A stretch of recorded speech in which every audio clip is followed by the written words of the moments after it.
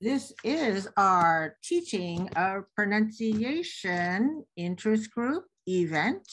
And we usually have three of us here. There's me, Marsha Chan, uh, my co-coordinator, Randy Reitmeyer, and our assistant coordinator, Patrick Mrozek. So those are the three of us. And why are we here today? We are here today for the, the presentation by Marieke van der Meer from the Netherlands. And Yay! about whether or not to stress, to stress or not to stress. And she's going to tell about her experience coaching Chinese students, PhD students, right? Mm-hmm. On stress, on word stress in English. As you know, in CATESOL, we have a great number of benefits as a member. And we, we like to remind you that uh, if you are a member, you'll really be a member of our very vibrant community in California. Not only do we have student, uh, students and teachers from California, but we have many members from outside of California as well. We have a peer-reviewed language publication, which is the CATESOL Journal and it's available online to anybody who wishes to look at the recent research and the implementation of all kinds of uh, methods for teaching English language. We have our monthly CATESOL update announcements. When we have conferences and other kinds of events, we have discounts for our members. We have free access to an unlimited number of interest groups, levels, and chapters. And we have a lot of opportunity for us to interact, to network, to learn, to teach with other members of the CATESOL community, both at conferences, which as you know, we're going back to live in-person face-to-face conference in Pasadena pretty soon, just this fall, which is really exciting after a couple of years of uh, pandemic remote learning and teaching. We have a chance to do online discussions with like-minded professionals on our message boards. You can also access the job bank if you're looking for a job or if you have a job to offer. And we have access to our recorded webinars. So we know that we often do our webinars live and in person, like you guys are here, but many of the webinars are recorded. Now, for top interest group, we record all of them. And for the other interest groups and levels, well, some of them are recorded, but whatever we have, we make available to you on our online training webpage in our catesol.org website. We also offer a lot of money, that is awards for grants and teachers and students for professional development. For example, at our upcoming conference, we've been able to gift to quite a number of graduate students, that is our future teachers, to attend the conference in Pasadena. And in just a moment, we're going to hear from our presenter, Ms. Marieke van der Meer. So I'm going to now turn it over to our speaker. So I will stop sharing here. And now it's your turn, Marieke. Well, thank you very much, Marsha. Now, I'm also using a computer that I not normally use. So um, for me, this is also improvising a little bit uh, with this presenter mode thing. So I'm really sorry about this. Uh, let's see uh, what we can do. So, so like I said, today's uh, topic, or like Marsha said, is coaching Chinese students on word stress. Well, first of all, I'd like to give you a little bit of my context, my journey as a teacher uh, into becoming a, a, pronunciation coach. And then also let's hear from you. What would you like to take away from today's session? And basically today's topic is about Chinese students and word stress. Why is it important? What are typical word stress issues? And uh, why are they so challenging? So that's the first part. And the second part of the uh, presentation or workshop because I'll try and make it as interactive as possible, is addressing these issues and what methods and materials do I use and what are the results of those techniques. Then finally, a Q&A session and of course, what's next. And Marsha already told you a little bit about the Pasadena conference. Maybe she has more to say. Uh, we shall hear. And also what's next uh, for me and maybe for you. All right. So let's continue. My context, uh, uh, my journey. Well, um, I was um, a great fan of my teachers when I was a young girl, and they were all very motivating. And I even drew a picture of my English teacher when I was 12 years old. And that is to show actually that uh, I really loved her. She was very good. And you can see here in the picture with this pink circle. And here is my male teacher who was also motivating me to go and study English, which I did at the Radboud University here in the ne Netherlands. I did my MA in English and applied linguistics. That was in 1988 when I graduated, long, long time ago. Now, this is an overview of my journey as a teacher. I'll give you some time to see it. And I went from being a teacher into being a trainer and then a coach. Try to read it bottom up.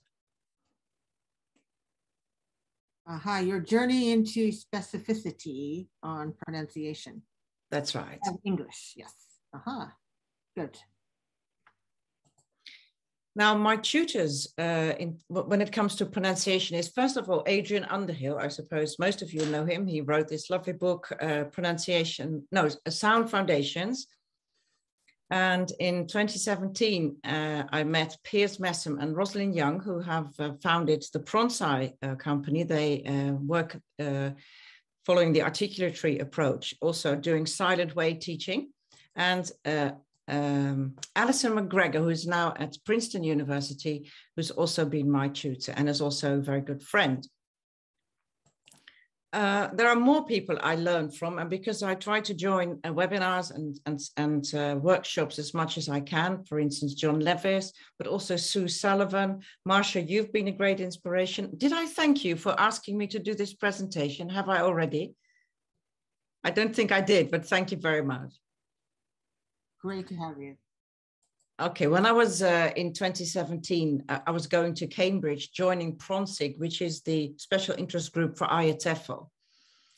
And uh, I did a presentation in 2019 about word stress that was in Glasgow. And then Gemma Archer, the organizer of the event, asked me to write two articles about it. And here are the uh, covers of those two magazines, the journal from, uh, from PRONSIG. And I'm really grateful to Gemma to have given me that opportunity. Now, let me see, where do I work? I work at several universities here in the Netherlands. This is life sciences, Radboud University, more general, broad university, TUE, technical, uh, University of Twente, also technical. That's where I do most of my work. And the university here in Xi'an, uh, that is NPU, the Northwestern Polytechnic. I work as a freelancer so I'm hired by the university language centers. I've taught and trained around about 300 Chinese students by now, I think, since 2017. And since the pandemic hit, around about 100 online. And those are very small groups that people sign up for. And of course, also the one to one. It's all something uh, PhDs, mainly Chinese PhDs, decide to do uh, it's not part of a university program, even though they do get uh, credits for the program they follow. All right, um, here you can see some pictures. My Chinese students are very keen to work on their English. They're also lovely to work with. They have a lot of respect for, for me as a teacher. This person always wanted to carry my bag, uh, for instance, then also had a lot of fun uh, working together. Now, what I experience most of the time, and I'm not sure about you, maybe you can share that in a moment, a lot of students feel they need to bridge a gap. Their knowledge level, their technical uh, level, their academic level is at a certain height, and it's usually quite high because they're very good uh, students, but their English skills are a little bit lower, and sometimes a, a, a really big gap uh, is there. And of course, we want to bridge the gap by raising their level of English and not the other way around. Um, and that's why actually um, this has become my passion to work with Chinese PhDs, make sure they speak English with confidence and ease. And also empower them and make sure they can really express themselves more than they feel they can do now because a lot of them have low self esteem and don't feel very confident, but they have a lot to say and a lot to contribute. So, in the end, what are the results? People enjoy listening to them and really get the message. That was my context. And I try to follow the Pelly approach during the, my lessons and also would like to try and do that today and try to think for a moment what Pelly can stand for. Well, P is for participate, the E is for enjoy, the L is for learn, and the I is for implement. So hopefully this approach will, is going to work for you today. And so you can take some things away. And let's have a look at what you would like to take away, where you're based and what you do and what's your experience in view of today's topic. So Marsha, maybe you can make some breakout rooms, maybe two rooms is enough, so we can share some, uh, some of our experiences and, and uh, targets for today. All right, great, great. So where we broke out into two rooms and um, I think our interaction was such that it was quite a match for today's session. Some people are interested in how helping Chinese students who stress too many words and they don't always have the same rhythm and stress program. So I think Marieke was gonna, is going to talk about that. And another talked about how in working with Chinese students, um, especially those who are pretty advanced in their speaking abilities, um, that is another attraction. So that's what we talked about in our group. How about in yours? Thank you very much for sharing that, Marsha. Let's uh, continue it all. Being understood. Exactly. So that is uh, intelligibility at the heart of it all, isn't it?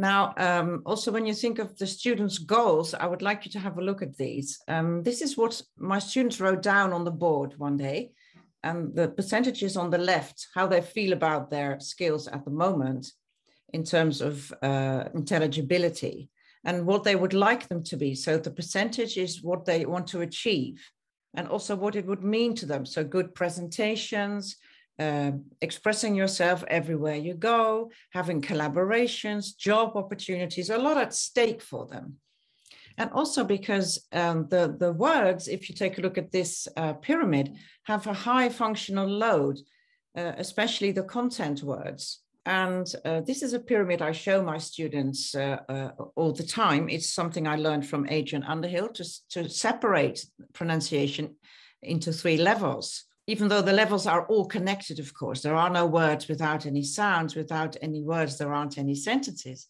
But the content and the message is mainly in the words. There is an arrow to sentences because with intonation, we of course do a lot with the message, etc. And on the right, you can see that the syllables and uh, are, are of course at the heart of the words, focusing on accents and reductions. My students really like this pyramid because they now can separate uh, their skills uh, uh depending on the level. Why is it important as well? Just some examples. There's quite uh, often a lot of confusion. So uh, my, one of my students asked me if I wanted to come to Beijing. And I, I wasn't sure because he said my city has a lot of constructions errors.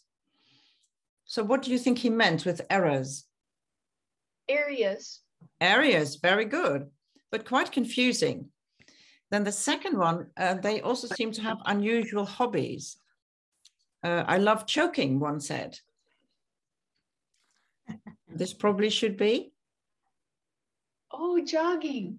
Oh, jogging, you see? So you can already see by just these two examples what's going on when it comes to word stress, not just stress, but also realization of the vowels, the, the O instead of the O, and areas, not doing a proper diphthong. We'll get to the, those uh, things in a moment.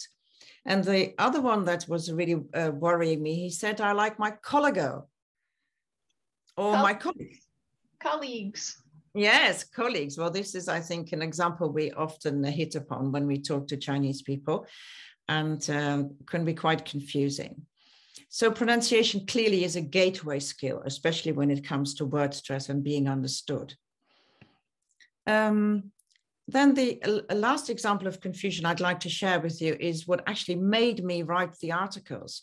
Um, one student is device, uh, designing a device to capture two more cells. But tumor. I didn't. Tumor. Sorry? Tumors. Yes. tumor cells. So try to say it like two more cells. And then the whole meaning gets lost and the significance of the whole device gets lost.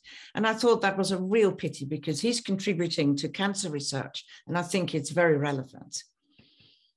Okay, and if only, okay, I already said this. If he had reduced the second syllable in tumor, and if he had stressed the first one more, I would have understood uh, the significance and appreciated it straight away. You can see more of this in my article, and there are also links to classroom videos. Now, what are typical word stress issues? This is just to summarize. Inaccurate word stress, stress on the wrong syllable, stress on the correct syllable, but poor acoustic results. This is what I take from Underhill. So not long enough, the, the stressed syllable is not long enough, or it's not loud enough, or it's not high enough. So all the acoustic results uh, actually are not there. Then secondly, a poor reduction of unstressed syllables, like in the word tumor that we just heard. So there is too much reduction. That's also possible in a word like catalyst, where a, a, a, stressed a syllable is just compressed and it's not there anymore, or there is too little reduction in the word like tumor or computer, where the first syllable is pronounced as computer, trying to follow what's being, being spelled. And the third uh, issue is related to word clusters uh, inaccurate primary stress across the cluster, what happens if three or four words are together, and also what happens with derivatives when there is uh, uh, when there is stress shift. So these I, would like to discuss with you.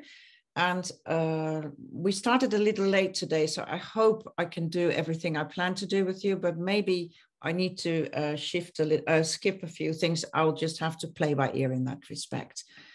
Um, this is what students say. It's hard for me to unlearn the wrong stress. This is something to realize for, for, from the student perspective, okay? Secondly, I think I know the right stress, but then it turns out to be wrong. So they guess and it's not the right guess. I mispronounce words if I only inspect their spelling. So tip, um, clearly something going on there. Um, now, why are they so challenging? I also uh, try to explore that uh, a little bit with my students, all the ones that I have been working with. And uh, the first thing, maybe uh, quite obvious, is little practice. When they go abroad, they've done their reading, they've done their writing, probably, and, and listening, but not so much the speaking. Then there's a lot of anxiety going on.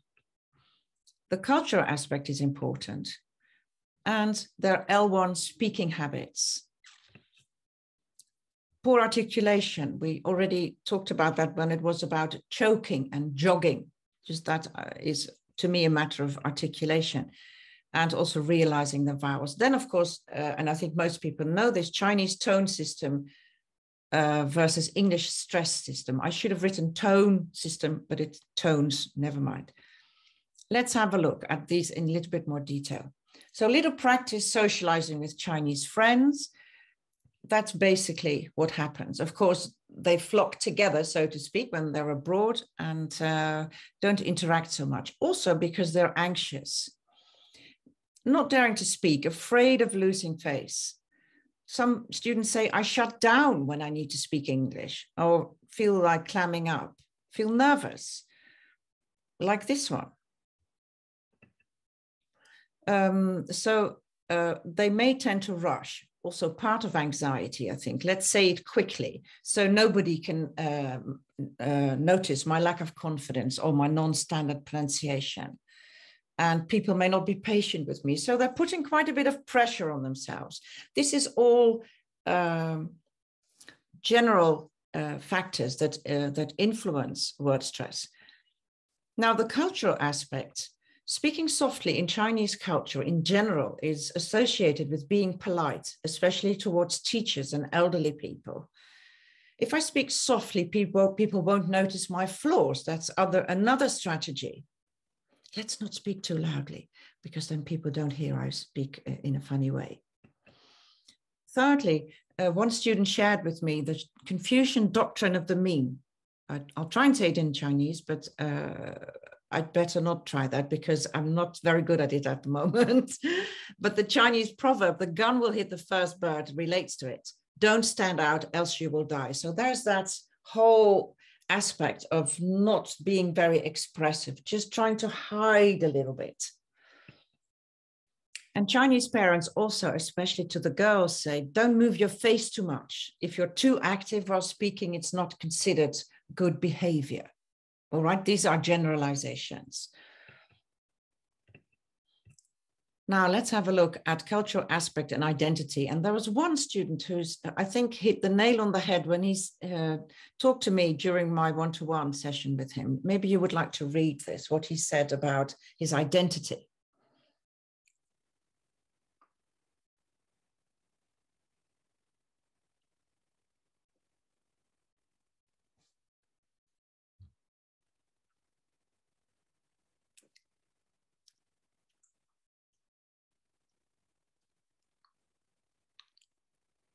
Yeah, can you put your hand up when you've read it, when you've finished it? Okay, thank you. And I try to say to my uh, students and encourage them to find their English me and make them aware of, of the fact that there is this identity thing going on. Like when you speak Chinese, you probably feel different from speaking English, but still you. I also feel that when I speak Dutch and I speak English, me, but different. Mm, speaking habits. This is a very, very important thing. And you may wonder, why are we not getting on to word stress now? Why do we need to worry about speaking habits? Well, Derwing et al. have stressed this in their article. Speaking habits are very important also for intelligibility.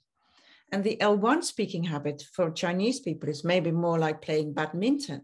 And they will have to get into playing a game of tennis very much Uh, uh, uh, well, they're both ball games, but different rules, different techniques, different ways of playing it, different feel to it.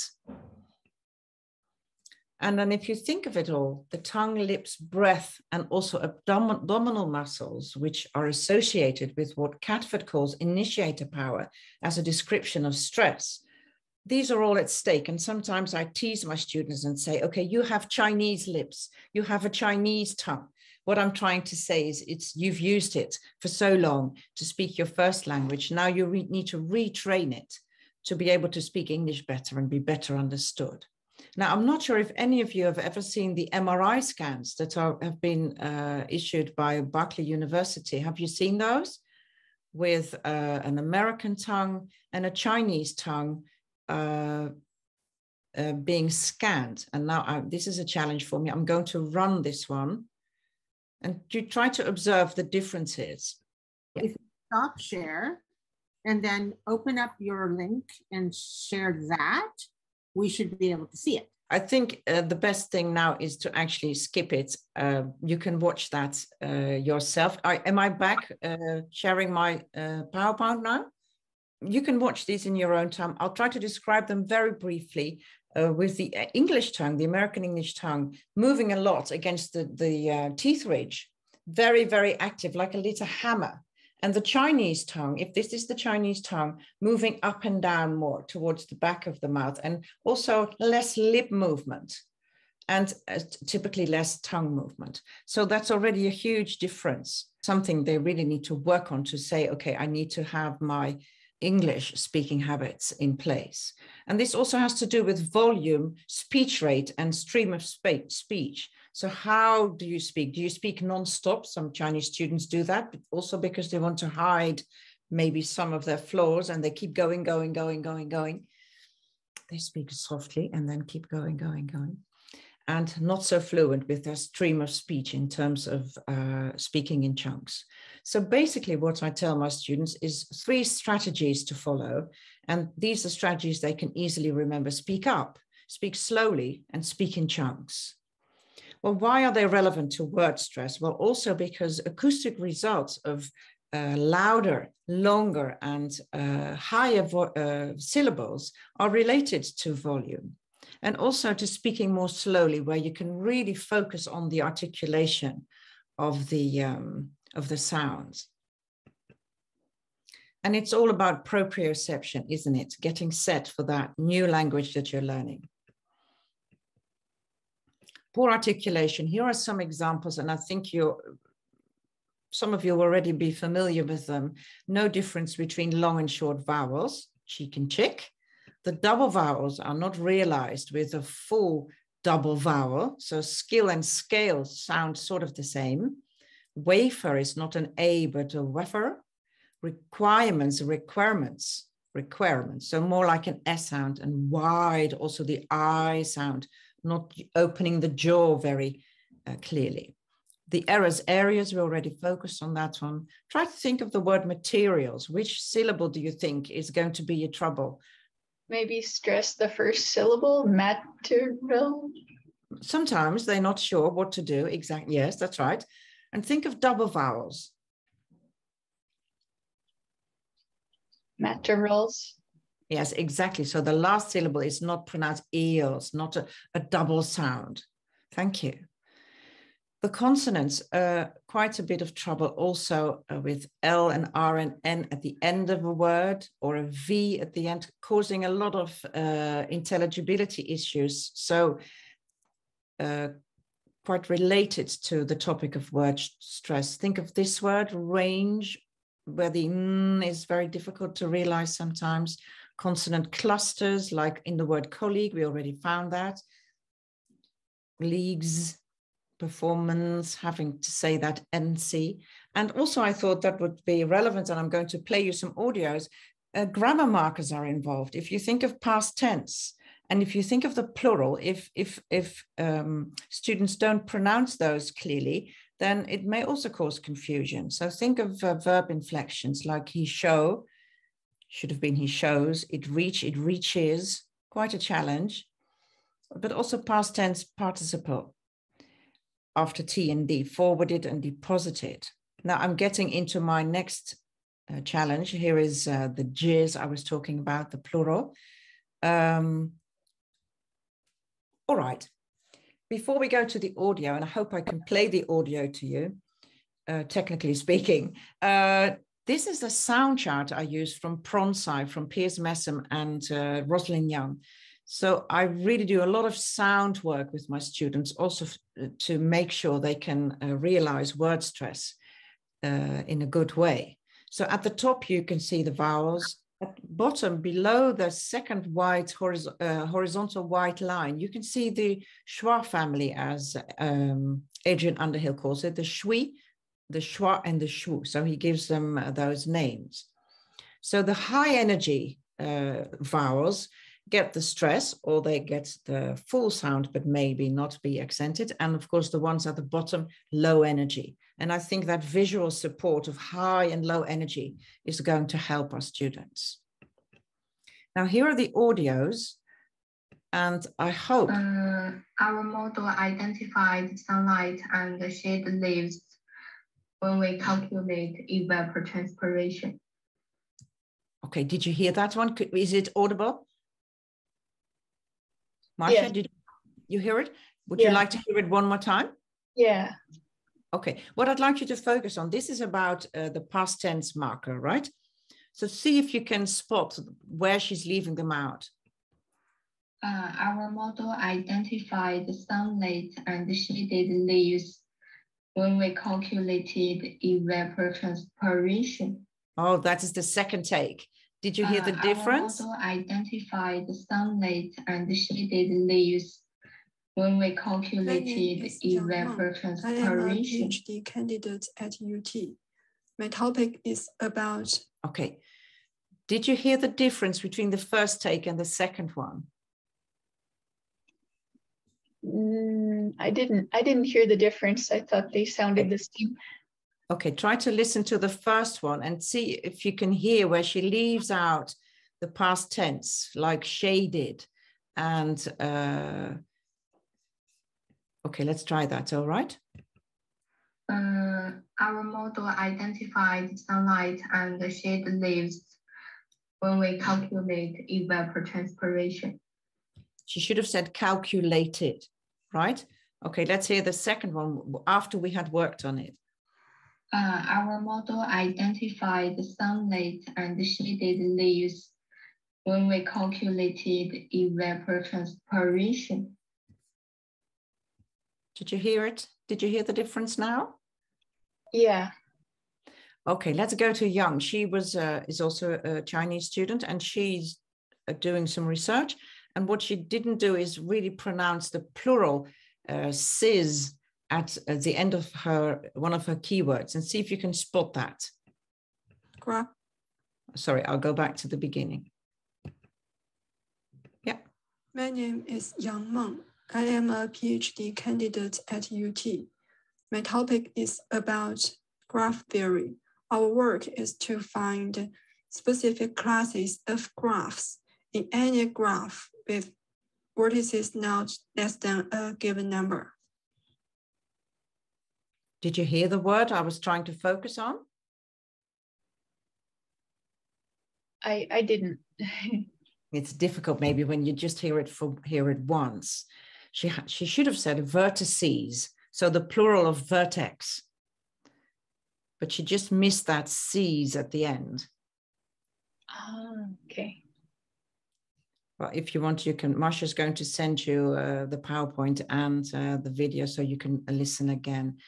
Um, and the next video is the tone system. I'm not sure. Can you? Sorry.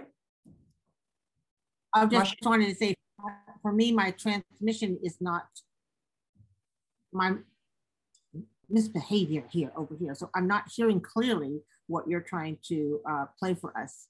But maybe if I get, um, get my computer cleaned up, it will be better. Oh, I see. I'm sorry.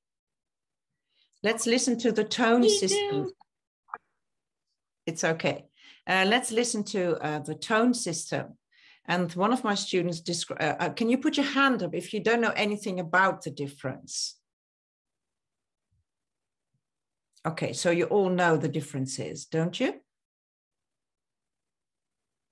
Yeah? Can you put your hand up if you think, yes, I already know this?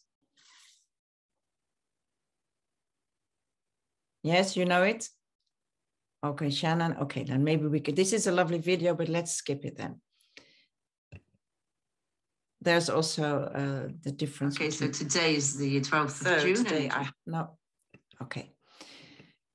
Uh, this is the uh, the tone system summarized. This was the MRI text. Welcome to the Max Planck Science Gallery, where you can see all the tones, and also you can see the the, the single syllable words. So it's all monosyllabic, and they have different tones that uh, are not similar to the to the stresses we have. Okay. Um, yes. What also happens is something that Marsha already tried to mimic, and that is uh, the tone that doesn't uh, have enough profile. So the energy profile being actually too, too, um, too much in the same range. Now let me see if I can get this working for you. I'm Hong Zhao. I'm a postdoc researcher at the University of Twente. My project is microwave remote sensing of vegetation for agriculture monitoring. My work is I'm Hong. I'm a postdoc researcher at the University of Twente. My project is microwave remote sensing of vegetation for agriculture monitoring. My work is to develop a multi-frequency simulator to synthesize data from future microwave missions. All right. I would say her articulation is quite good. We can all understand what she's saying, but it's all in this flat tone, isn't it? Now we try to work on that. Uh, this is what is the result. I'm Hong Zhao. I'm a postdoc researcher at UT. My project is microwave remote sensing of vegetation for agriculture monitoring. My work is to develop a multi-frequency simulator to synthesize data from future microwave missions.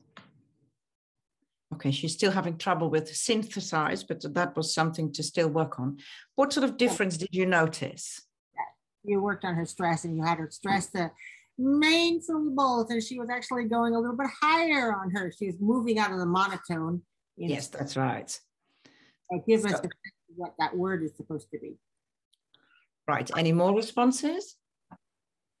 I feel like I, I noticed how tired I felt listening to her because Yeah. just being empathetic of how much energy it takes to stress every syllable, um, I felt much more relaxed the second time because she didn't have to work so hard to yeah. enunciate.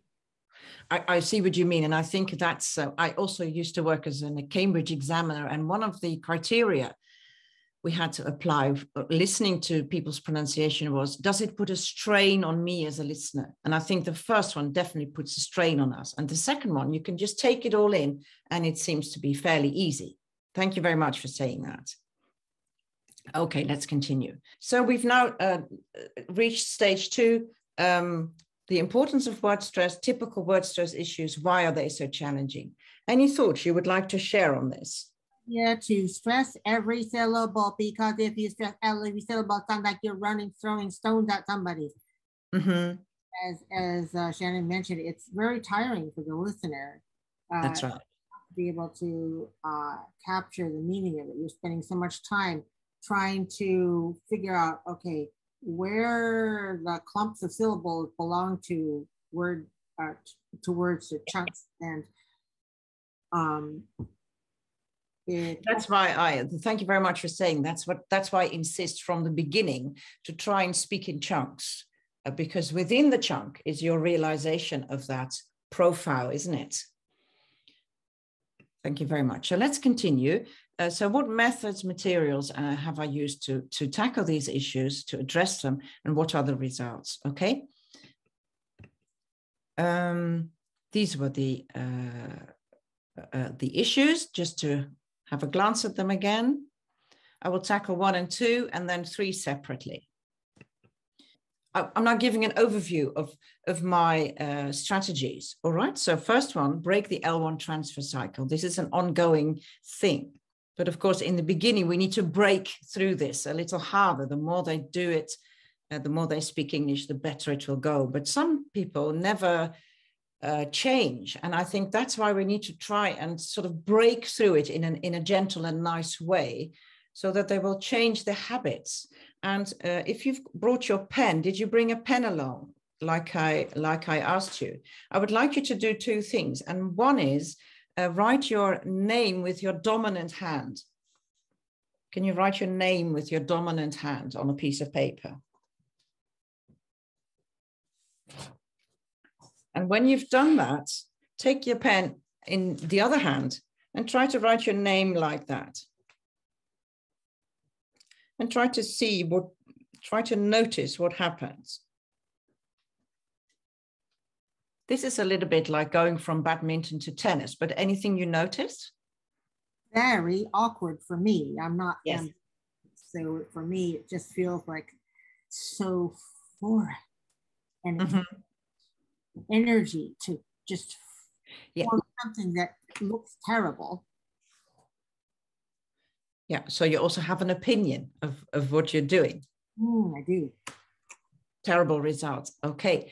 Um, this is something we need to realize with our students. For them, it's a, it's a really uh, something new they're going to learn.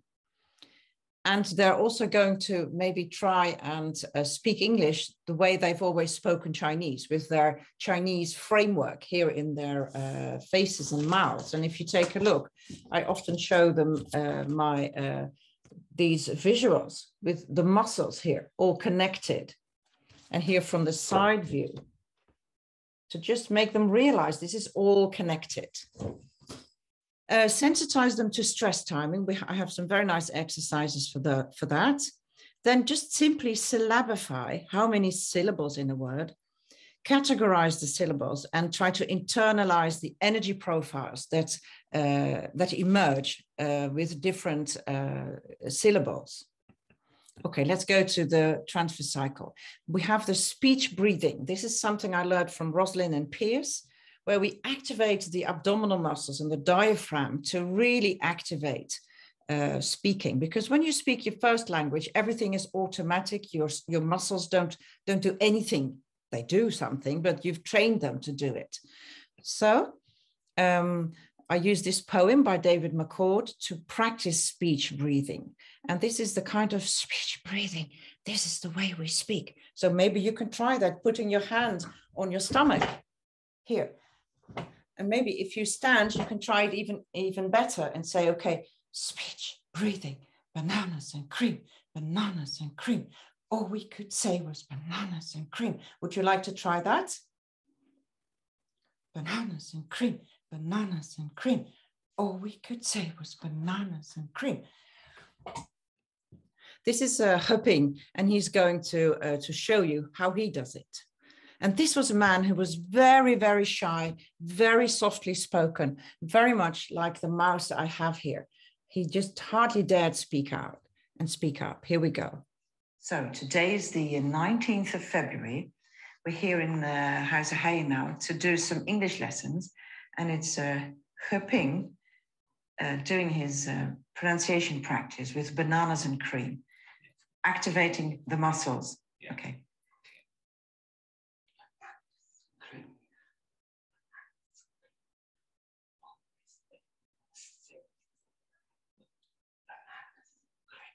Very good. Make it a bit louder, yeah. Bananas, cream, bananas and cream. All we could say bananas, cream. Very good. And see, that was the cat. See if you can go to the lion, like loud voice, but still pulling the muscles, yeah?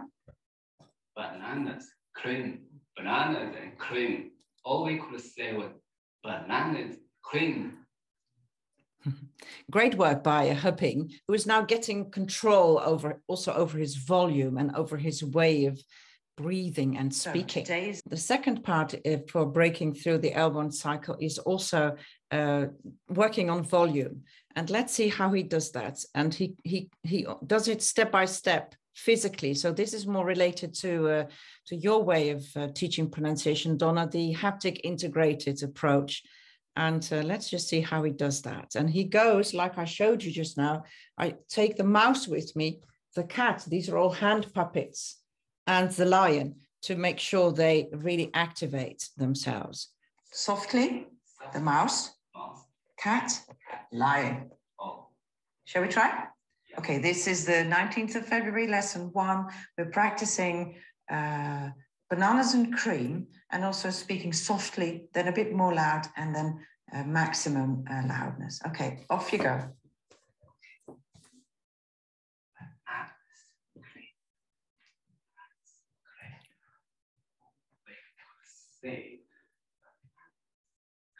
Very good. Okay, go back, please. And don't forget to say was. All we could say was bananas and cream. Yeah, now the cats. A little bit louder. Bananas and cream. Bananas cream. All we could say bananas cream. Very okay. I think you're you're getting that. Uh, let's continue. Slowing down, very important, and we can integrate that with our mouth yoga. And this was uh, inspired by you, Marsha, and by uh, uh, Fumiko Takatsu from Japan uh, to stretch the muscles and really activate the whole apparatus here. So let's try and go into that if you'd like to join. Uh, this is all uh, warming up uh, for, uh, for the word stress, isn't it? And when my students do it, they feel more relaxed. They say they speak more easily and can speak louder afterwards. So that's good, isn't it? Shall we try? So stretching, and I use my uh, lion for that. Let's go for wow. Okay, we do a small, medium, large. Here we go. Three, two, one. Wow. Wow. And maximum. Wow. Okay, let's do it. And we keep on the maximum, we keep 10 seconds. Okay, we stay there. Three, two, one. Wow. Wow. And maximum. Wow. Very good. And massage the jaw. Wow. Wow.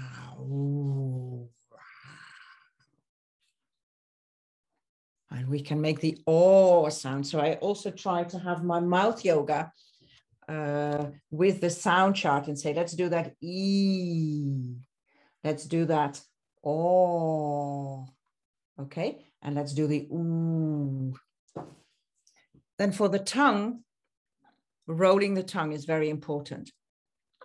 Let's do five rows clockwise, five rows anti-clockwise. Here we go.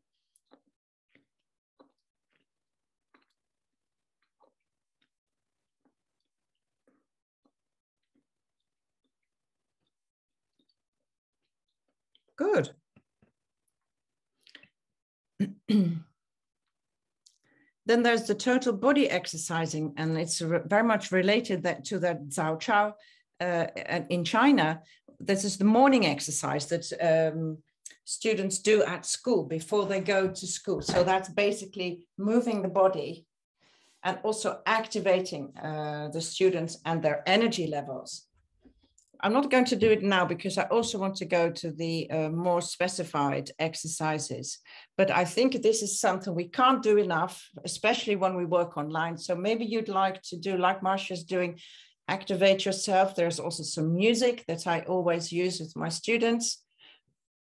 Okay, and notice the difference. I, I think it's in, so invigorating and uh, energizing. Right this is what their students say so refreshing after a long time sitting and it gets me in a good mood. All right. Speak with more energy. We already practiced that. Uh, yep. Then the stress timing. Um, just to get a feel for that this is an exercise by from Adrian Underhill. It's the me, you, him, her, and then you add a little word me and you and him and her.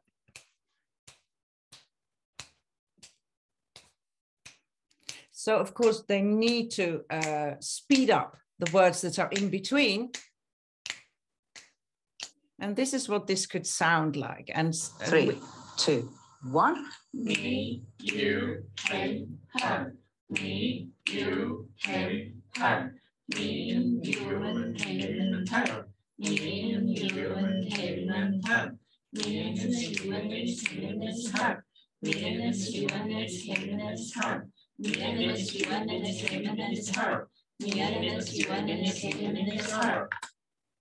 So we did this as a, as, a, as a routine. Every class we started with this and the students got more and more fluent. And you could also hear that some of them were there and some of them were really still working on getting the stress timing right. Yes, and the stress timing is also ideal with bananas and cream because it has that beat, doesn't it? Bananas and cream, bananas and cream. So that's this uh, sensitization uh, process. Now, syllabifying can be done very easily and in a very haptic way, just by uh, the way the, these students so do So here's a short video on how to start with word stress. And the first step is counting the syllables. So let's go for the word supervisor. Yeah, can you do that? Can you do a bit of counting? Supervisor. So how many? Four. of course, there was four, not too difficult. But you could see what they were doing. And I can also see very easily whether they get it right because I can see the hands moving and they can internalize um, more syllabification. Maybe you can try for yourself if you see these words, how you would do it.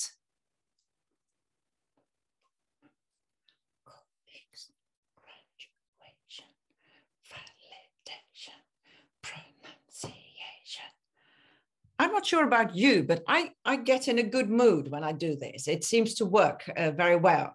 It makes me smile. What about you? Can you open your mics and say something? Just doing it is fun, isn't it? It's nice to move and just kind of. Yes, it is, isn't break it? the monotony, I guess. Yes, thank you. Okay. Now, um, uh, something that's uh, for, for syllabification, also try to separate the syllables visually like they're done in the dictionary, okay? We may think, oh, well, this is obvious, but for the students, it can be very helpful. For instance, the word colleague is often considered to be three syllables, whereas it's only two. And then a third technique for syllabification is writing a haiku. I'm not sure if you know about haikus, but they have five syllables, seven syllables, and then five.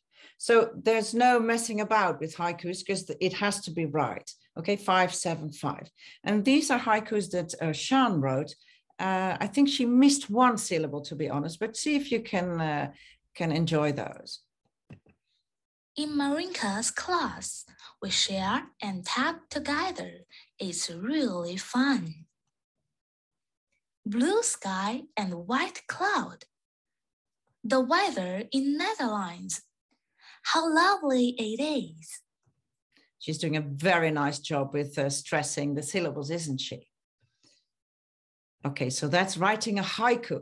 Uh, we're not going to do the haiku writing now, but this is something I would like to invite you to do with your class as soon as you get back to them after the summer break, because it's so lovely to write some poetry and create this atmosphere of what you want to express with your haiku. And it's very In effective. Marieke's And now for categorizing the syllables, this is where the color coding comes in. Take a look.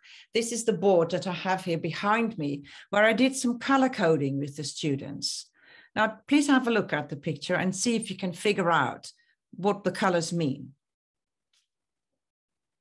And if you think you do, then uh, you can uh, open up your mics.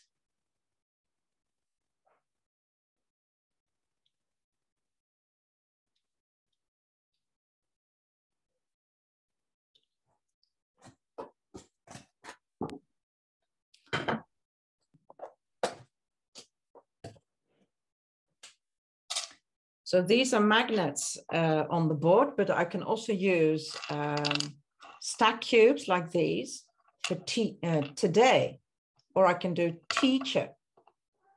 All right. Or if I want, I can do the optics. I have my color coding. Yes, you have your cards with you. Okay, lovely. So see if you can do one of the words with your cards. Here is the optics and then what's also good about this system is actually um, there's a, a, limited number of colors that we have. So just three colors I need to remember, reduced syllable, the high energy one and medium. So I can now also visually support that by the size of the cards and by the color. So that is taking it from the auditory to the visual and the haptic. Okay. And I also um, take quite a bit of time to share this with my students and say, okay, look, how many syllables do we have? And I share this with them. And give an example like evaluation. Also, what's in the dictionary? The sub accent, evaluation is there. And the full and unstressed syllable is the red one. And I think it doesn't get enough attention in pronunciation teaching because we always focus on the main accents, the green one. But the full one is also important for substress, isn't it? Evaluation. With people who are have, have a more sophisticated vocabulary, yes. Yay. First, who are more at the beginning or intermediate level. We are just happy if they can get of course, of course. But sometimes, for instance, if, if it's about uh, a plural ending like vertices, we will have to use the red syllable because that's the plural marker, you see? So that's why it comes in uh, very handy. Take a look at these. This is a different uh, overview where I have given them four options for syllables. Full and accented, the green syllable, full but unaccented, the red syllable, reduced white, but also compressed syllable in the word um, business, for instance, or colleague. Yeah, that's not really a compressed syllable because the GUE is not giving a full syllable, but a, a, word like business is a good example, for instance. And just um, call a spade a spade, be very specific and explicit about the syllable system. All right. Now let's go over to you. Uh, yes, also the sound chart comes in very handy, like I already said. Now see if you can categorize the syllables and do a bit of color coding for yourself. So choose one of the words and see if you can color code it. All right. When you've color coded it with your cards, can you share it? Which word am I doing out of these six?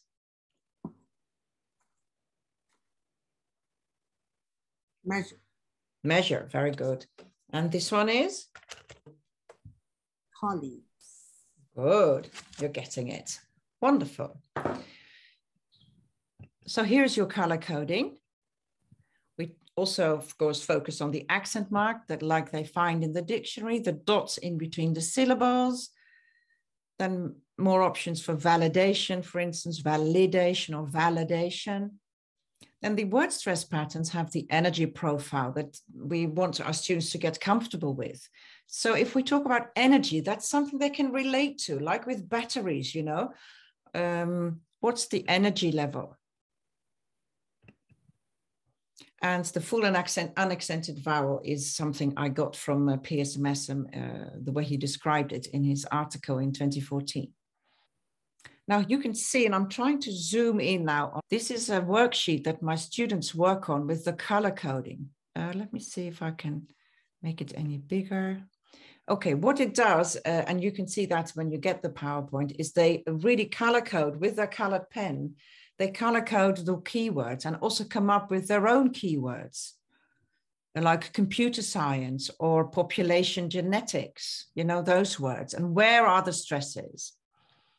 and they really seem to enjoy that and also it shows to me whether they really master the stress uh, patterns and then for internalizing and categorizing syllables let's have a look at the um, uh, haptic approach and we try to do it uh, something that most of you may be familiar with with standing up sitting down but also the red syllable is there and see what movement they make for the red syllable supervise and let's color code it very difficult word for a lot of students. They want to say supervisor, or they want to compress the second syllable and say supervisor.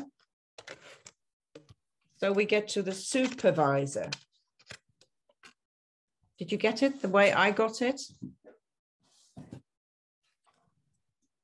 All right. You don't have enough hands. That's right. That's why we have the um, the stand. All right, let's see what they are going to do. Okay, so let's hear the word supervisor from you. Okay, on the count of three, and then show me the body gestures, right? Three, two, one. Supervisor. Good, one more time. And stress the su, make that a, a sound longer, louder, and uh, higher in pitch, okay? Three, two, one. Supervisor. Very good. And the same goes for this video where we have the color coding in the hand and we try to figure out the word supervisor. Well, you can see that uh, in your own time. Maybe they, um, these are the Cuisenaire rods that are used for silent way teaching. All right, it's the same thing. Now let's take a look at the time. I'm going to skip through some. Okay, we've already had this. And uh, stand up, stretch the arms and sit down is the uh, so let's try and do that for validation. Okay, shall we do that together? Three, two, one. Validation.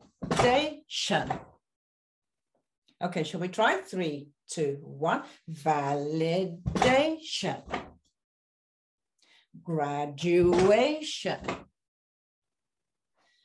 And if you think this may be too much for your students uh, in the beginning, you can also use the palm of your hand, which is done also by Karen Taylor, de Caballero. She just does, does the palm for the, for, the, for the stress, right? Performance, pronunciation. All right. Now, let's uh, continue the reduction. That's an important element. I think uh, if you think of too much reduction, uh, then uh, we can do some back chaining. I'm not sure if you're familiar with back chaining. And that is actually saying syllables, uh, but without any meaning. So if you'd like to go after me, uh, then uh, try to follow, okay? Two. Two. Good. To two. To two. To to two. To two. To two. Good. Quarter to two. Quarter to two. Good. It's a quarter to two. It's a quarter to two. Good. So this is actually something that can help students produce a reduced syllable uh, that they're not so uh, familiar with, like the word catalyst. They will say catalyst and skip the whole syllable, all right? But the kata is important, even though it is reduced. And this uh, is a way of training them to, to do that. It's a quarter to two. And the computer word may be uh, reduced to little. So the computer, and very often my students say, Marieke, this is in the spelling. I need to say com because it is spelled computer. But it's not actually, of course, what it should be computer. Where we have an open transition. But I would like to finish uh, with this video because this is Peng and he's working on this word tumor that we started with. Mm-hmm. And this is to show what a reduction feels like to a Chinese student. All right? This is your topic then, Peng. Capture tumor cells. Okay, are we happy? Mm. Some people go, mm. Which word does he need to change? Chew. Okay, more more energy on chew. Yeah. Go again. Capture two more cells. Okay, what should he reduce more? More. The more. Yeah. Okay, forget about more, just make it a, a reduced sound. Sorry. The more of two more. Yeah. It's too much energy. Okay. The rest was very good. Keep mm -hmm. the mm-hmm. rest and reduce that. Yeah. Try again. Capture two more cells. But even reduce more. Tumor. That's it. Really? Really? Tumor. Okay. So weak. so weak. Okay. Yeah. That's a great moment, I thought, when he's really saying so weak, like I can't believe it. And that's what he needs to get used to, right? And he's uh, doing a great job finishing. Okay. Yeah, please. Capture tumor cells. Okay, and then more energy on chew and not so much energy on cells. Tarara. Capture tumor cells. That's good. One more time. Capture tumor cells. Okay, and then reduce the m even more. Tumor. Yeah, that's it. Tumor. Okay. And don't forget the capture tumor cells. Wow. Capture tumor cells. This is wow. your topic then, Peng. I think we now recognize the word tumor cells much more than in the beginning when he was going tumor cells. Okay, let me go to the final slide, and that is um, um, there's the keyword derivative. Do we have time for one more video, Marsha? A short one? No, we don't because we have another event. that's right. Okay. okay. This is for the so, keyword derivatives and the keyword, um, the contour lines that we uh, can use. Okay and some videos by the students, the results, takeaways, any questions, what's next. Okay, you can get my uh, uh poster presentation, articles if you like, and the uh, references for Levis and Brinton I will uh, put in the PowerPoint. This is my email address. Maybe we can finish off with this slide. If you would like to mail me, would, would get in touch with me, would like to know more about the things that we didn't have time for today, please contact me. I'm very happy to uh, to be in touch with you and uh, talk about things and hear from you. Thank what you. you've taken away. Very, very nice presentation. And of course, you had so much to say, and we were not, uh, our, our computers were not really pleasantly aligned with our desires this early mm -hmm. morning. Uh, we did what we can, and that's what we have found when we were doing remote presentation that we have. That's right.